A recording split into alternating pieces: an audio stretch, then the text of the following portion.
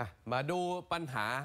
ที่รบกวนหรือว่าคาใจสำหรับคนที่บ้านติดกันโอ้วันนี้เรื่องอะไรคุณพี่เออเรื่องบ้านน่าอยู่ครับท่านผู้ชมฮะวันนี้เป็นเรื่องของพวกต้นไม้เนาะบางทีเราอยู่บ้านเราก็อยากจะอ่าปลูกต้นไม้แต่บางทีเนี่ยต้นไม้ลูกลามเหรอเออ มันโตขึ้นโตเอาโตเอาเออและอาจจะไปโผล่ที่ข้างบ้านได้โอ้โหอันนี้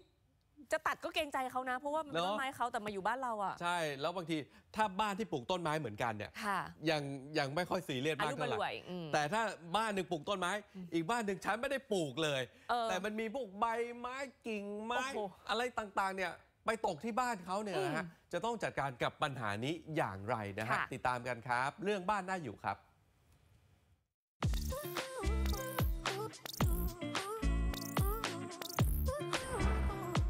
เรื่องบ้านน่าอยู่ สนับสนุนโดย ธนาคารอาคารสงเคราะห์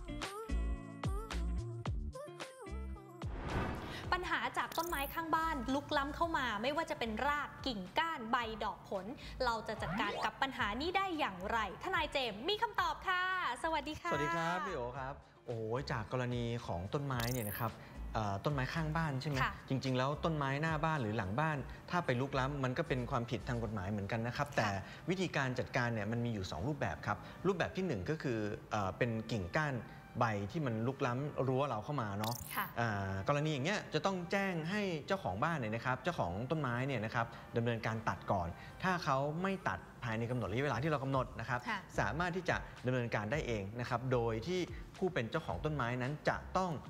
จ่ายค่าใช้จ่ายให้เราด้วยนะครับอืมนะในกรณีที่เราไม่สามารถตัดได้เองอะเราไปจ้างช่างมาค่ะเสียเงินไปเท่าไหร่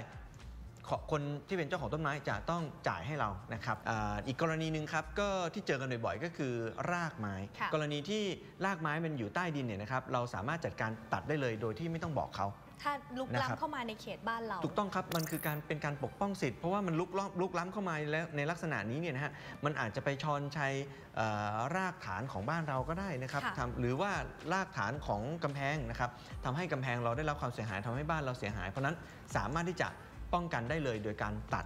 นะครับโดยไม่ต้องแจ้งนะครับ อีกกรณีหนึ่งที่น่าสนใจครับ บางคนเนี่ยนะฮะ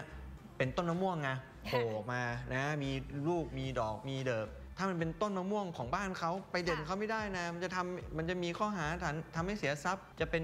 การลักทรัพย์หรือเปล่านะครับอันนี้ทำไม่ได้นะเพราะนั้นเนี่ยถ้าเป็นดอกผลต่างๆ ที่ยื่นเข้ามานะครับหรือว่ากิ่งก้านถ้าคุณจะไปตัดคุณต้องดำเนินการตามขั้นตอน คือแจ้งเขาไอจะไปดึงไปเด็ด ดอกผลของเขาไม่ได้นะแล้ควรับ ถ้าไม่ได้เด็ด แต่มะม่วงล่วงหล่นลงมาในที่เราอย่างนี้ล่ะกาคะรที่มันล่วงลงมาเนี่ยนะครับสันนิษฐานไว้ก่อนว่ามันเป็นการสละสิทธิครอบครองไปแล้วนะครับเพราะฉะนั้นถ้าหล่นลงมานะครับเท่ากับว่าเขาเนี่ยไม่ได้เอ่อไม่ได้ติดใจหรือว่าไม่ได้อยากจะได้ดอกหรือผลของต้นไม้ต้นนั้นแล้วนะครับพอมันล่วงลงมาเราสามารถหยิบกินได้นะครับหล่นใส่หัวเราเราก็หยิบกินเลยนะครับ นะแต่แต่มีอีกวิธีหนึ่งบางคนเขาบอกว่า ผมโอ้ยถ้าเด็ดมันผิดกฎหมายใช่ไหมทนายมันจะเข้ารักทรัพย์เพราะฉะนั้นผมกินคาต้นเลย แบบนี้มันก็เป็นความผิดเหมือนกัน เพราะมันค่ะทำให้ทรัพย์เขาเสียหายนะครับค่ะไม่ควรทำนะฮะเพราะฉะนั้นก็ต้องเออในกรณีที่มี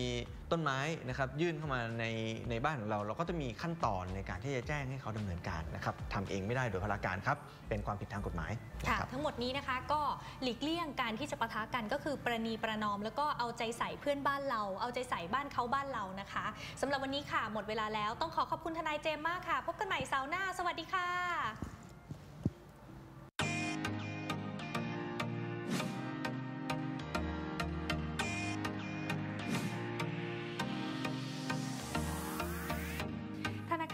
สงเคราะห์ยกระดับด้านการบริการผ่านดิจิทัลแบงกิ้งให้สามารถตอบสนองความต้องการของลูกค้าเงินฝากกลุ่มนิติบุคคล ที่มีบัญชีเงินฝากกับธนาคารด้วยบริการ GSB Corporate ครบง่าย ตอบโจทย์ทุกข้อมูล ได้เพิ่มช่องทางและโอกาสในการเข้าถึงบริการของธนาคาร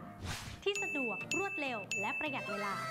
ในการเรียกดูข้อมูลเงินฝาก โดยไม่ต้องเข้าไปที่สาขาของธนาคารด้วยการเข้าไปใช้บริการผ่านเว็บไซต์ www.ghbank.co.th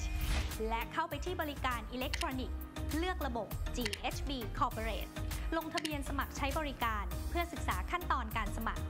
พียงเท่านี้คุณก็สามารถเรียกดูรายละเอียดบัญชีเงินฝากกลุ่มนิติบุคคลได้ทันที ไม่ว่าจะตรวจสอบยอดคงเหลือและดอกเบี้ยค้างลับ ยอดเงินฝากครบกำหนด ขอสเตทเมนต์ หนังสือรับรองหักภาษีณที่จ่าย หรือตรวจสอบประวัติการถูกรางวัลสลากออมทรัพย์ สามารถใช้บริการระบบ GHB Corporate ได้ทุกวันตั้งแต่เวลา 6 นาฬิกาถึง 22 นาฬิกา อบถามรายละเอียดเพิ่มเติมได้ที่ GH Bank Call Center 02 645 9000 หรือทุกช่องทางของธนาคารอาคารสงเคราะห์